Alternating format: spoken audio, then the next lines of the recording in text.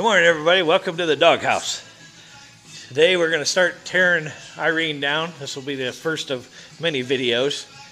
Um, today's job is to find out if we've got compression and if we can get the starter to turn over the engine. We have brought our technical advisor Colin over today. He's going to be helping out. And of course, we have the expert, the only one that's actually built a Sportster. Brian's on scene. And uh, we're going to get started. It looks like a mess, but I'm sure it's going to get messier. Top of the starter, one of the main problems we have is right there is where the oil sending unit goes. I believe we had a gauge hooked up there, pressure gauge at one time, but all the threads are gone. And we leak oil out of there.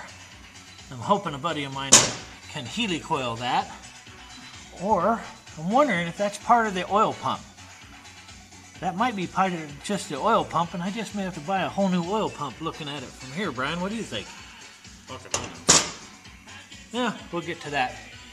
But we're gonna slap a few things back on it so we can see if the starter will fire it and go from there. All right, check the compression. We got 65 on the front cylinder. Or no, 65, yeah, 65 on the front cylinder and 60 on the rear cylinder, and the rear cylinder is falling. So but it won't fire, so now we're going to try and find the starter relay. But just so everybody knows, Colin, hit the starter button. She's cranking at least. That's a good sign.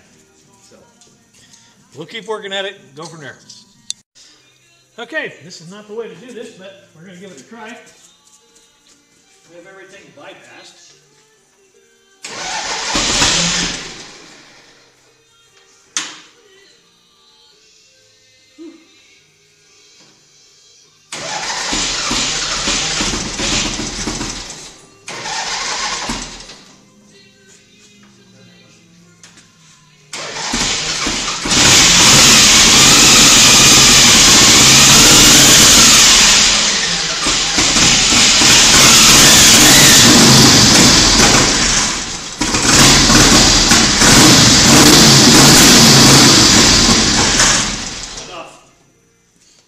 Bitch runs.